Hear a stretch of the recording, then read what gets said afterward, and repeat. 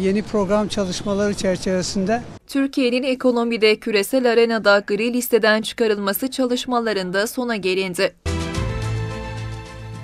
Açıklama Hazine ve Maliye Bakanı Mehmet Şimşek'ten geldi. Şimşek, Mali Eylem Görev Gücü tweetini alıntılayarak Twitter hesabından paylaşım yaptı. Türkiye'nin 40 Mali Eylem Görev Gücü standardının 39 adedinden uyumlu olduğunun tescil edildiğini belirten Bakan Şimşek, bu durum kara para aklamayla terörizmin finansmanıyla mücadeleye verdiğimiz önemin açık bir tezahürüdür. Sağlayacağımız etkinlikle ülkemizi gri listeden çıkartmaya kararlıyız dedi.